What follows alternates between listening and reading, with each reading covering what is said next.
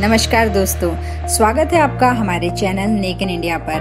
मैं हूँ गीता राणा और आज की हमारी पॉजिटिव न्यूज़ है एक ऐसे मेजर के बारे में जो नाम के साथ काम में भी शौर्य दिखा रहे हैं। चाहे वो सीमा पर दिखाई देने वाले दुश्मन से लड़ रहे हों या कोरोना वायरस जैसे अदृश्य दुश्मन से, वो अपनी पहचान बनाते हैं। मेजर प्रदीप शौर्य आर्य एक भारतीय राजस्व सेवा आईएआरएस अधिकारी और शौर्य चक्र से सम्मानित हैं। जो कोरोना वॉरियर्स स्वयं सेवक समूह के हिस्से के रूप में हज़ारों लोगों की मदद कर रहे हैं। जब झारखंड के प्रवासी श्रमिक मालूर रेलवे स्टेशन से जा रहे थे या जब उत्तर कर्नाटक के सैकड़ों लोग बेंगलुरु के कैंपेगोड़ा बस स्टेशन में बसों में सवार थे, मेजर आर्य इन सभी भूखे मजदूरों को पानी की बोतलें, बिस्कुट और भोजन के पैकेट बांटते देखे गए। सूत्रों के मुताबिक वो अपने पिता से मिलने के लिए मार्च के तीसरे हफ़्ते में बेंगलुरु आए थे। जब वो मुंबई लौटने वाले थे तो देशव्यापी लॉकडाउन की घोषणा हो गई थी और उनके पास कोई रास्ता नहीं था कि वो वापस जा सके। तब वो एक वॉलेंटियर टीम में शामिल हो गए, जो कि सरकार और लॉकडाउन से परेशान मजदूरों के बीच कोऑर्डिनेट कर रही थी।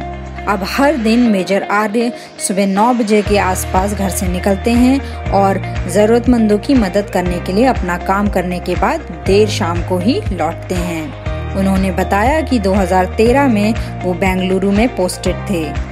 बाद में उनका बेलगावी और फिर मुंबई ट्रांसफ़र कर दिया गया।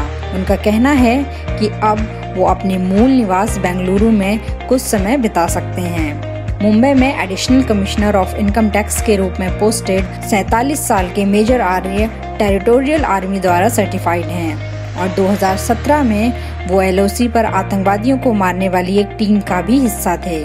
उन्होंने sociology business administration, law and taxation, में मास्टर्स डिग्री के साथ सोशोलॉजी में पीएचडी भी किया है। मेजर आर्य के पास एक कमर्शियल पायलट का लाइसेंस भी है। उनका कहना है कि उनके साथ साथ डॉक्टर पायलट सेना के लोग इंजीनियर होमगार्ड और कई अन्य लोग हैं जो समाज के लिए अपना काम कर रहे हैं। और ऐसा पहली बार है कि देश के इतने सारे लोग एक कारण के लिए साथ आए हैं। धन्यवाद दोस्तों।